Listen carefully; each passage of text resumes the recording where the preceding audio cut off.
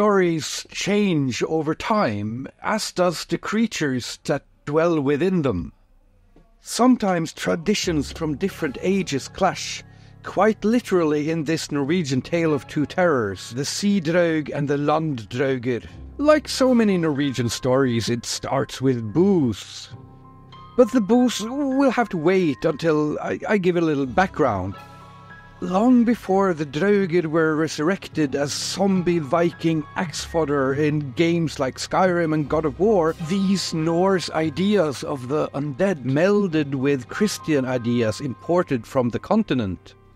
Over the centuries, the Draugr morphed into the oceanic drowning spirit called Draugen, whose folklore survived into modern times growing up in the 1980s, I, I, still remember my grandparents jokingly speaking of Draugen to scare me to behave while out fishing. Draugen is most often a single entity, a sort of oceanic troll or embodiment of those lost at sea. It can attack and drown lone fishermen or appear as a harbinger of death at sea, but sometimes it can come up on land and while there are many variations of today's story, uh, it often starts on julaften on Christmas Eve.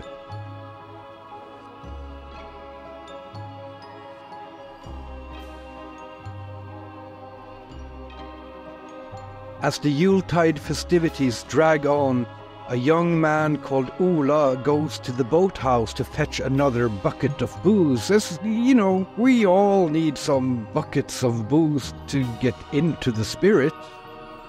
But there in the boathouse, sitting silently on the bucket, is Draugen himself, staring out at sea.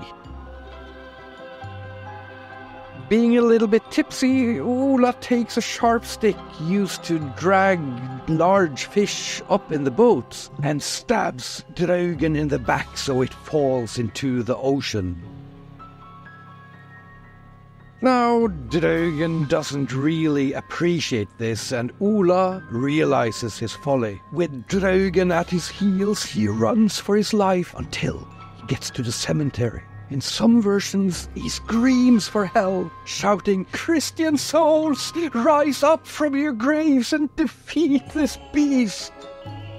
In other versions, Ola just knows that Landedrauger doesn't like the Sea Draugr. As he runs to safety, Ola hears all hell break loose behind him. Of course, no one believes a word he says as he bursts back into the Yule party. Have you had a little bit too much to drink? They laugh.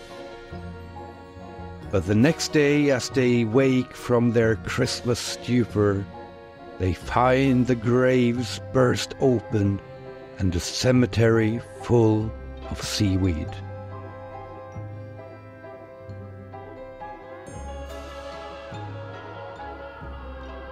This tale is what's often classified as a migratory legend, which means it survives in several different versions over a huge geographic area.